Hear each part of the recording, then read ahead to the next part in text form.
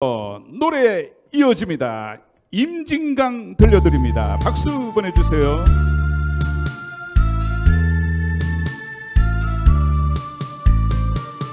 이태호의 임진강을 한번 불러보겠습니다.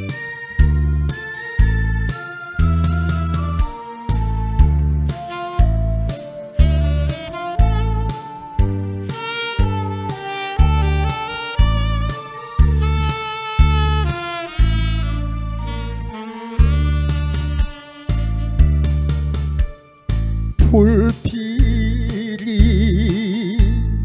꺾어 불면 물새도 노래하던 옛 이야기 속삭이며 흐르는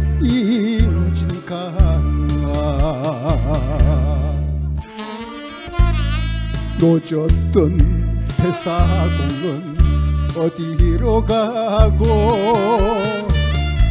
쓸쓸한 나루터에 배만 떠 있나? 울지 마라 울새야. 울지를 마라 세월 가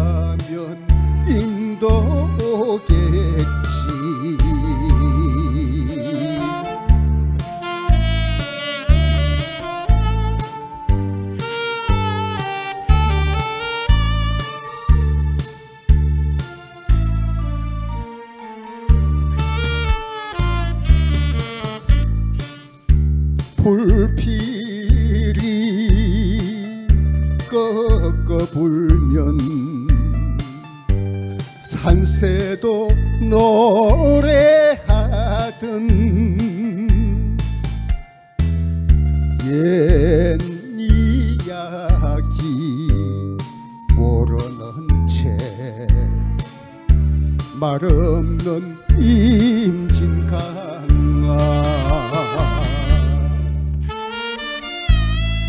휴전선 바라보며 목이 메이는 한많은 그 사연을 너는 알겠지.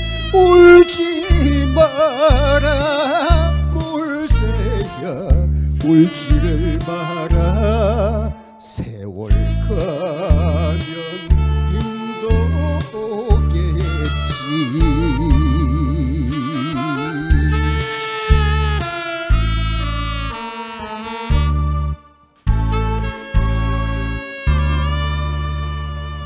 네, 수고.